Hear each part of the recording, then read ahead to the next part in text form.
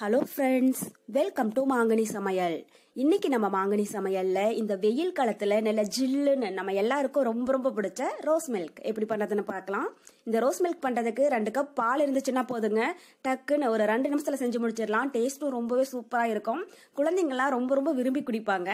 சரி வாங்க. இப்போ ரோஸ் மில்க் எப்படி பண்றதுன்னு பார்க்கலாம். ரோஸ் மில்க் பண்ணுறதுக்கு ஃபர்ஸ்ட் ஒரு மிக்சி ஜாரில் ரெண்டு கப் அளவுக்கு பால் சேர்த்துக்கோங்க. நான் வந்து அரை லிட்டர் பால் எடுத்திருக்கேங்க. பால் வந்து நல்லா ஃபுல் க்ரீம் மில்காக எடுத்துக்கோங்க. அப்போ தான் ரோஸ் மில்க் வந்து நல்லா க்ரீமியாக ரொம்பவே நல்லா இருக்கும். அப்புறம் பாலை வந்து நல்லா காய்ச்சி ஜில்லுன்னு ஆற வச்சுடுங்க. முடிஞ்சால் கொஞ்ச நேரம் ஃப்ரிட்ஜில் வச்சிருந்து எடுத்துக்கோங்க. ரோஸ் மில்க் வந்து நல்லா ஜில்லுன்னு ரொம்பவே நல்லா இருக்கும். இப்போ இது கூட நாலு டேபிள் ஸ்பூன் ரோஸ் சிரப் சேர்த்துடலாம். இந்த ரோஸ் சிரப் வந்து நமக்கு எல்லா சூப்பர் மார்க்கெட்லேயும் கிடைக்குங்க. நான் வந்து இந்த பிராண்டட் ரோஸ் சிரப் தான் எடுத்திருக்கேன். நமக்கு இதுலயே ஸ்வீட்னஸ் இருக்கும். முக்கால் லிட்டர் ரோஸ் சிரப் பார்த்தீங்கன்னா நமக்கு நூறு ரூபாய்க்குள்ள தான் அடங்கும். வாங்கி வச்சிட்டோம்னா வேணுங்கிற போது ரோஸ் மில்க் ரெடி பண்ணிக்கலாம். இப்போ இது கூட டேஸ்ட்டுக்காக மூணு டேபிள் ஸ்பூன் சர்க்கரை. நமக்கு ரோஸ் சிரப்லயே சர்க்கரை இருக்கும். இப்போ வந்து கொஞ்சமாக மட்டும் சேர்த்துனீங்கன்னா போதும்.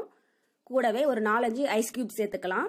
ஐஸ் கியூப் வந்து நீங்கள் விருப்பப்பட்டா சேர்த்துக்கோங்க. இல்லைன்னா தேவையில்லை. ஏன்னா ஐஸ் கியூப் போடாமலே இந்த ரோஸ் மில்க் ரொம்பவே சூப்பராக இருக்கும். இப்போ ரெண்டு நிமிஷம் மட்டும் நல்லா அரைச்சி எடுத்துக்கலாங்க.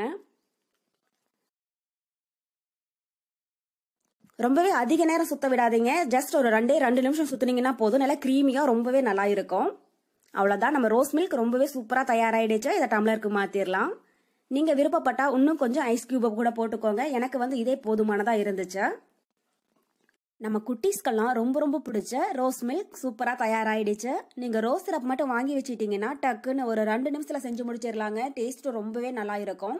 கண்டிப்பாக நீங்களும் இதே மெத்தடில் செஞ்சு பார்த்துட்டு எப்படி இருக்குன்னு கமெண்ட் பாக்ஸில் சொல்லுங்கள் என்னுடைய இந்த ரெசிபி வீடியோ உங்களுக்கு பிடிச்சிருந்தா மாங்கனி சமையலுக்கு சப்ஸ்கிரைப் பண்ணுங்கள் நன்றி.